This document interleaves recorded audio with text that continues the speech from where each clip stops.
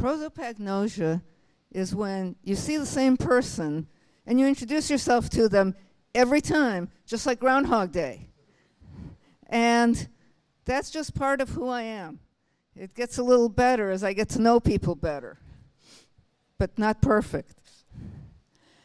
And when I started coming to Hack Night about three and a half years ago, there were a lot of new faces. Not quite as many as there are now because our room was smaller.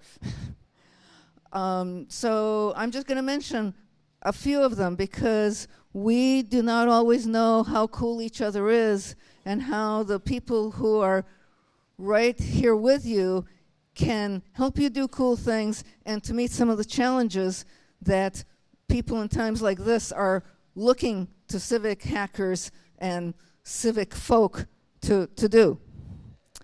So, um, mm, uh, Eric, uh, who isn't here tonight, calls himself oftentimes a, a uh, janitor of data.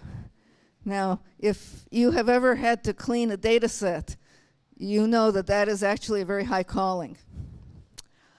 Josh um, makes maps, and you know, we're living in a time when it's really, really easy to make a map. Anyone can do it. You, you put together a spreadsheet and you throw it into Google Fusion tables and you press a button and it makes a map or sometimes it doesn't.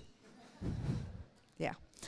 Um, Steve, um, uh, um, he also makes maps, but he's done a bunch of other things, and um, I'm, I'm, not even going to start on some of the stuff he helped me with.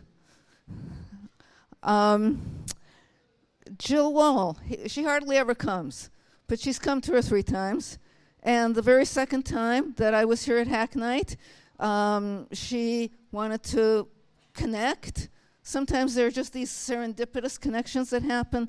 She is no longer at Health and Disability Advocates, but I am still there.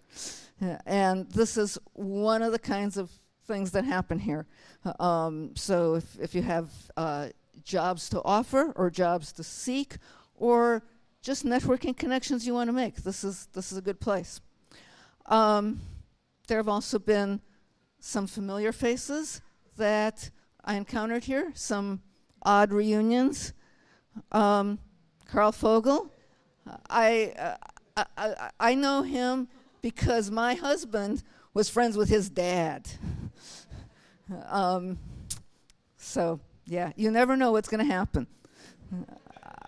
Um, Rob Paral, my neighbor, my buddy, um, he knows census data the way that some people know chocolate. and he is thinking of giving a free class in it. So, you know, if, if any of you guys know him, call him and tell him to do it. Uh, um, um, Michaela Blaze, when I, um, when she worked for me, she was 14 years old, and I, I would have had to walk her home in the evening if she stayed late. Um, and her mom would give me a glass of milk. Her mom was my exact same age. To this day, I, I call her Mrs. Johnson. um, one day I was I was sitting there on, on the on that backstage and Michaela, now a mom and a political organizer, uh, had brought a bunch of students here to, to learn about civic hacking because it was important for politics. She sat down right next to me.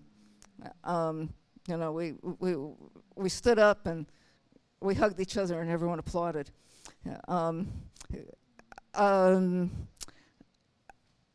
Toni Preckwinkle, the stuff she said when she was here last month, it meant a lot to me because it was about hands-on practical democracy of a kind that um, the, the life force needs to be there. This is what she looked like when I worked with her. Uh, um, yeah. Um, uh, people just come in here and, and they say amazing things. Here's um, just a few examples of ones that have meant a lot to me. They're certainly not the only ones. Uh, um, uh, people have been shouting out uh, examples of amazing talks. Um, and the thing about this place is that it's not that unusual for people to come and say amazing and inspiring things. And therefore, um, whatever your problem is, if you can't recognize other people, or whatever your issue is, that is that doesn't mean that you shouldn't um, get to know the people around you, because in the times we're in, they can help you be your coolest self. And that's all.